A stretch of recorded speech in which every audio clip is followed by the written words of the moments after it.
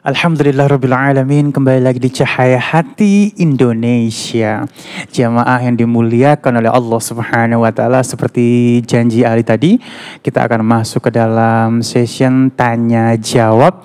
Dan Alhamdulillah Rabbil Alamin sudah ada rekan Ali ada Said Bajuri. Assalamualaikum Said. Waalaikumsalam warahmatullahi wabarakatuh. Tadi aneh lihat ente pas cerita tentang kematian khusu banget.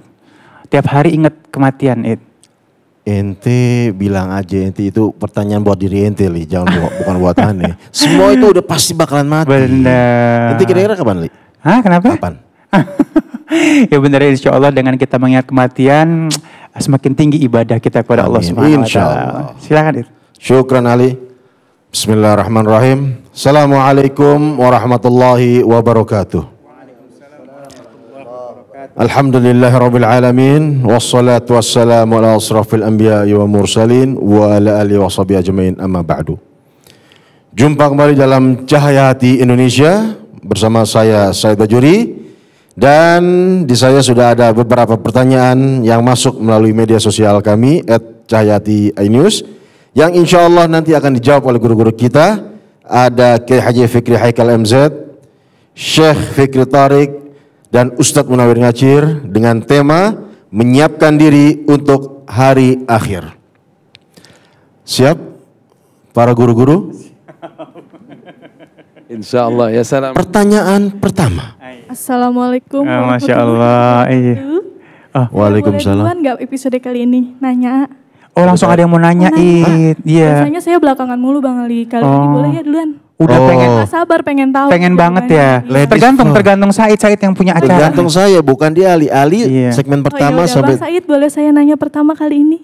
buat Mbak Tiara silakan. Ah ya. Assalamualaikum warahmatullahi wabarakatuh. Waalaikumsalam Saya mau bertanya sama Kiai Haji Fikri Haikal. Eh, apa orang yang mati suri juga mengalami alam akhirat dan eh, ia termasuk orang-orang pilihan untuk memperbaiki bekal di akhirat? Itu aja Ustaz.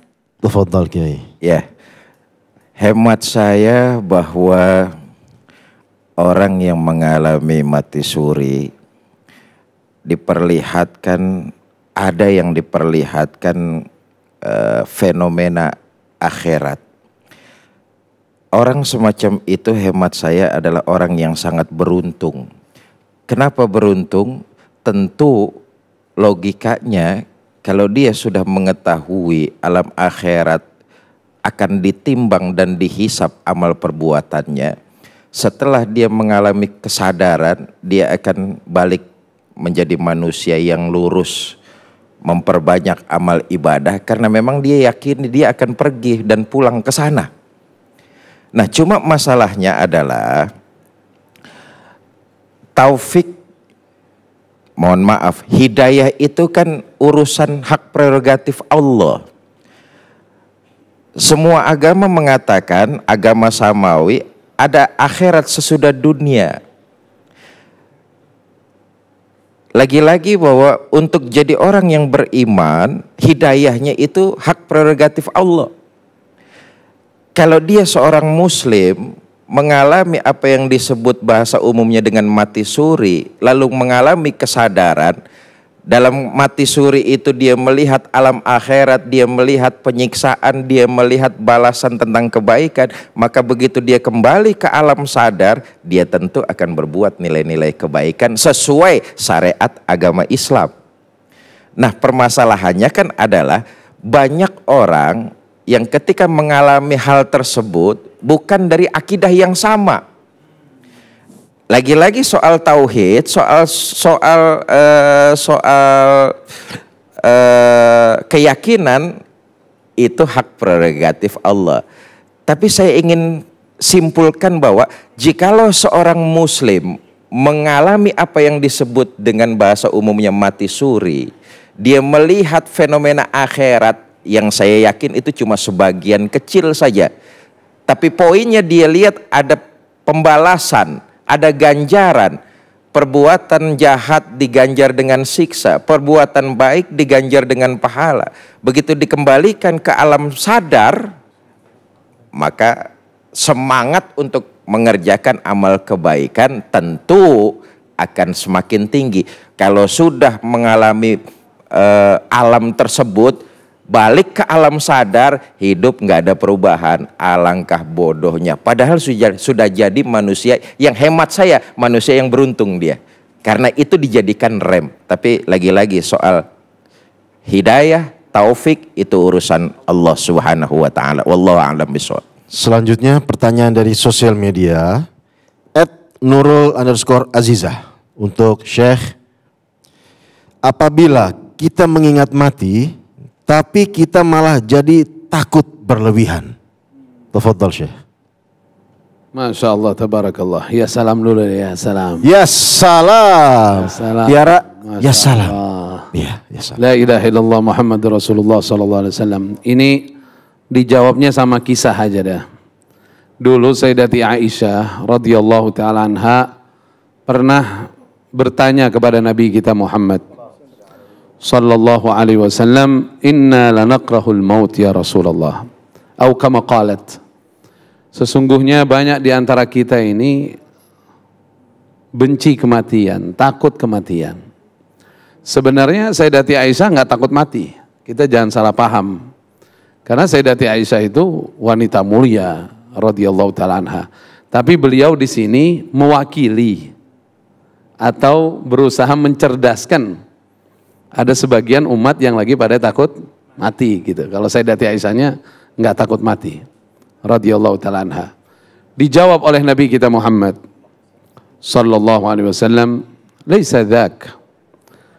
Innal mu'min idza hadarahul maut busyira biridwanillahi wa karamatih فليس شيء أحب إليه مما أمامه fa ahabba Allah wa ahabba Kata Nabi SAW, jangan begitu. Maksudnya mati ini nggak usah di apa? Nggak usah ditakutin, nggak usah dikhawatirkan.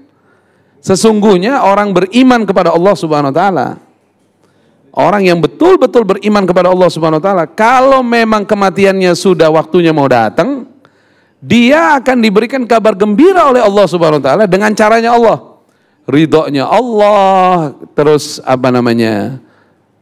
kemuliaan Allah Subhanahu wa taala yang diberikan kepadanya yang tidak ada sesuatu lagi yang paling dia cintai kecuali yang di depannya yaitu kematian. Maka dia cinta berjumpa dengan Allah dan Allah cinta berjumpa dengannya.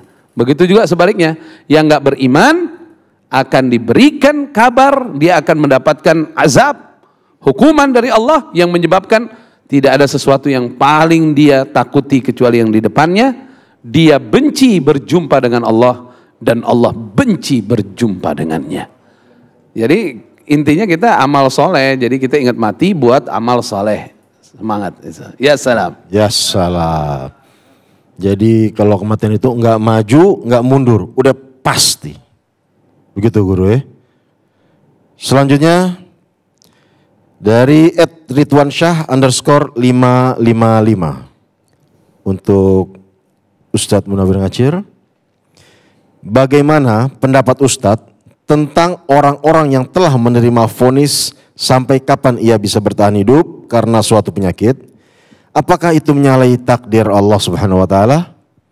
Fadhal Ustaz. Bismillahirrahmanirrahim. Pertanyaannya cakep bener ya. Kita jadi kayaknya tadi diomongin baru jangan takut mati ya. Iya.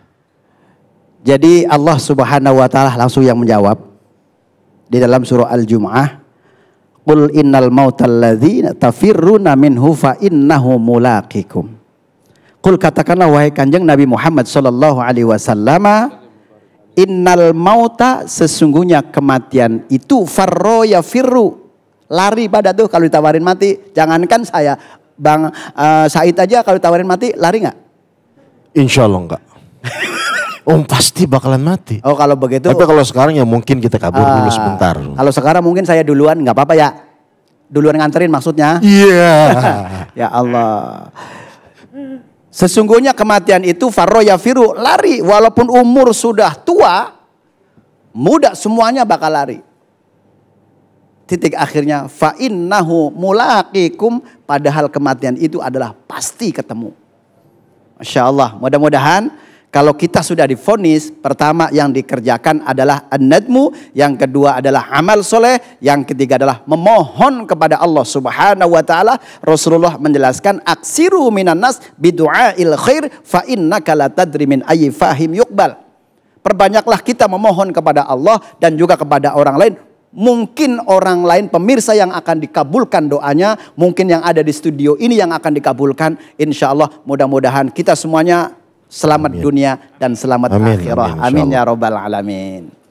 Syukran. Syukran Ustaz. Atas Alhamdulillah. ilmu-ilmunya Ustaz ya. Alhamdulillah. Ya. Itulah tadi jawaban dari guru-guru kita. Jangan ke mana-mana. Setelah ini kita akan kembali melakukan doa bersama dengan guru-guru kita. Tetap di Cahayati Indonesia.